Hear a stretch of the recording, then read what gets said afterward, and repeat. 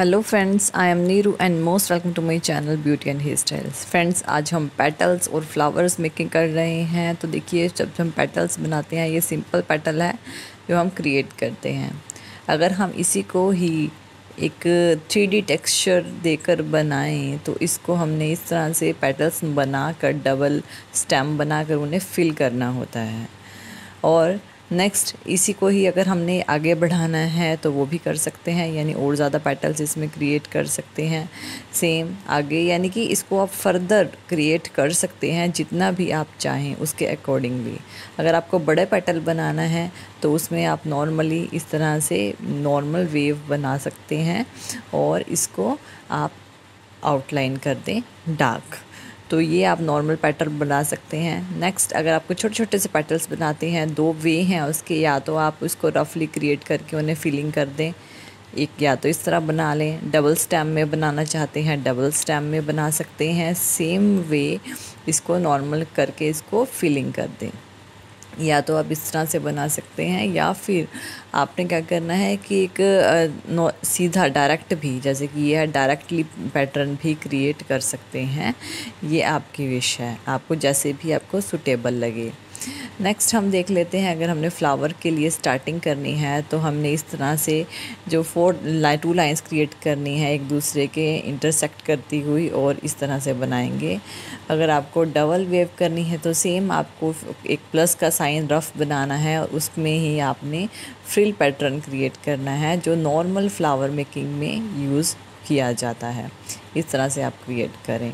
Next है कि अगर आपको जैसे सनफ्लावर टाइप में बनाना है तो आप इस तरह से अपने पेटल तो छोटे छोटे पेटल यानी मैरी गोल्ड जो टाइप में अगर हम क्रिएट करना चाहते हैं तो छोटे छोटे पेटल्स में हम इन्हें क्रिएट कर सकते हैं। और अगर आप चाहें, जिस तरह, इस तरह क्रिएट करके अगर आप चाहें तो इनके अंदर जो है थोड़े थोड़े डॉट भी फिल कर सकते हैं, जिससे कि ये एनहेंस हो जाएँगे इस तरह से बना के। नॉर्मल इस तरह रखना चाहते हैं, इस तरह रख दें। और अगर इनके अंदर डॉट का यूज़ करना चाहते हैं तो डॉट का यूज़ कर लें। ये कम्प्लीटली आपके ऊपर डिपेंड है कि आप करना चाहते हैं या नहीं। तो दोनों वे आप यूज़ कर सकते हैं। नेक्स्ट अगर हम कॉर्नर में यही पैटर्न क्रिएट करें तो वो भी हम कर सकते हैं। टू थ्री लाइंस के बीच में इस तरह से हम इन्हें क्रिएट कर सकते हैं। तो ये हमारा मैरीगोल्ड टाइप में हो गया। अगर हम अब हम चाहें हम फ्लावर यानी कि रोज़ टाइप में तो ये हम रोज़ टाइप में इस तरह से एक एक दूसरे के ऊपर लाइंस लेकर क्रिएट कर सकते हैं। और जो हमने पहले लीफ बनाया था, वही लीफ हम बना के इसे आउटलाइन कर देते हैं और आउटलाइन डार्क कर देंगे। नेक्स्ट अगर हम चलें, इसको आप छोटे छोटे पेटल्स भी इसके साइड में क्रिएट कर सकते हैं। अब हम चलते हैं नेक्स्ट पे। नेक्स्ट हमने क्या करना है? कि सेम फ्लावर पैटर्न है, उसी का ही दूसरा पैटर्न जो कि फिलिंग में हमने बनाना है।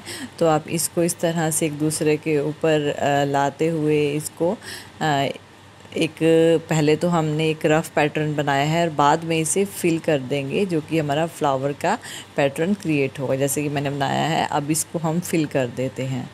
तो इस तरह से आप क्रिएट कर सकते हैं। हमारे कुछ फ्लावर्स हैं जो कि ये हम कुछ ही डिज़ाइन में आपको रिप्रेजेंट कर रही हूँ।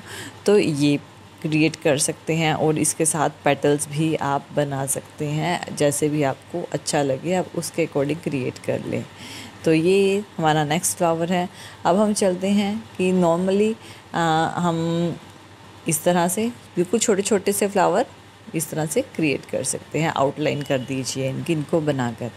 नेक्स्ट कि इसमें ही अगर आपको दो तीन लेयरिंग करनी है तो आप कितनी भी लेयरिंग कर सकते हैं। जैसे कि हमने ये पहले इस तरह से बनाया और इसको लेयरिंग करने के लिए इसको हमने लेयरिंग कर दिया, यानी ऊपर से इसको आउटलाइन कर दिया। और अगर हम दूसरी बनाना चाहते हैं तो सेम इसको भी हम इस तरह से फिल कर देंगे। और ये हमारा जो दूसरा पैटर्न है रोज़ टाइप का, वो क्रिएट हो गया। ये आप क्रिएट करिए। तो ये हमारा नेक्स्ट फ्लावर है। तो अलग अलग टाइप के फ्लावर आप चाहें, जिस तरह आप चाहें, अगर आप जितने पेटल्स आप चाहें, उसके अकॉर्डिंग आप क्रिएट कर सकते हैं। ये आपकी विश है। जैसे कि आप देख रहे हैं, हमने यहाँ पे ये क्रिएट कर लिया। नेक्स्ट हम चलते हैं रोज़ पे। अब नॉर्मली छोटा सा हमने यहाँ पे रोज़ पैटर्न बनाया है। ये बिल्कुल ही सिंपल और इजीली बन जाने वाला है। आपको जस्ट थ्री थ्री की शेप में उन्हें आउटलाइन करनी है और अंदर से इन्हें फिल कर देना है। तो बहुत ही इजी ये सबसे ज़्यादा इजी पैटर्न है फ्लावर का, जो कि आप क्रिएट कर सकते हैं। लास्ट में आप अपने पेटल्स को बना दें। नेक्स्ट एक और देखते हैं हम, अगर आपने एक छोटा क्लाइंबर टाइप में एक पेटल बनाना है तो ये हम डिज़ाइनर पेटल इस तरह से आप क्रिएट कर लें, अलग छोटे छोटे जिसके अंदर पेटल्स बना के, बाहर एक रफ़ लाइन ज़रूर बनाएँ। रफ़ लाइन से आपको पता लग जाएगा कि आपको कितने एरिया में इसको क्रिएट करना है। और फिर हमने एक रफ़ पेटल्स बनाई हैं और उनको हम फिल कर देंगे। बहुत आसान तरीका है इसको क्रिएट करने का। इस तरह से।